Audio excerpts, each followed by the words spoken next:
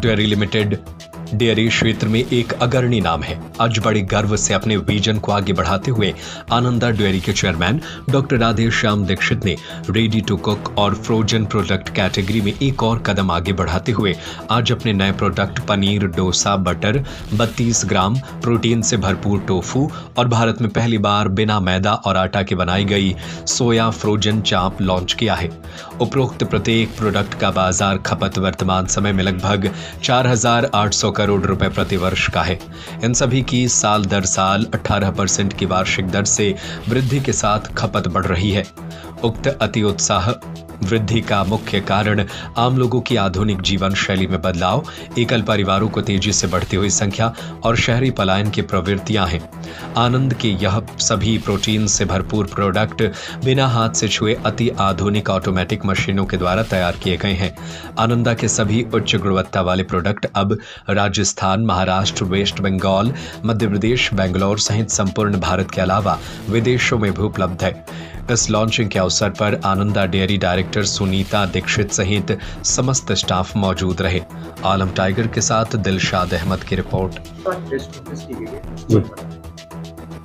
आ, सबसे पहले मैं एक बात बताना चाहता हूँ कि जो भारत हम कल्पना करते हैं कि हमारा देश विकसित होगा और हम सब उसके साक्षी होंगे तो विकसित भारत को सबको अच्छी क्वालिटी का फ़ूड देने के लिए हमें टेक्नोलॉजी का भी इस्तेमाल करना होगा।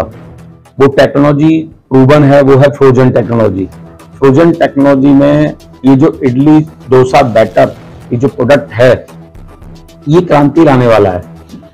आज ये इडली, डोसा बैटर सिर्फ़ साउथ इंडियन फ़ूड नहीं है। ये आज पूरी इंडिया में इस्तेमाल हो रहा है। और दूसरा, घर में इसको बनाना उतना आसान नहीं हो पाता है और समय लगता है। तो सबको आज क्वालिटी चाहिए, बिना किसी प्रिजर्वेटिव का चाहिए। आनंदा की एक ज़िम्मेदारी है कि आनंदा बेस्ट क्वालिटी का प्रोडक्ट अपने सभी कस्टमर को दे।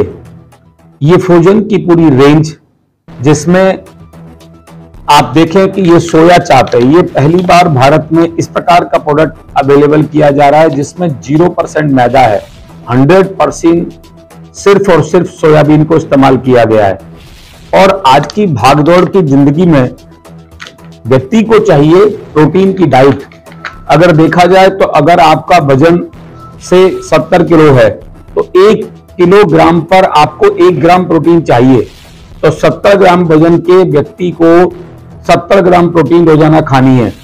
जितना रोज़ाना हम जो डाइट में लेते हैं, सब्ज़ी, दाल, चावल, इससे 70 ग्राम प्रोटीन नहीं हो पाती है।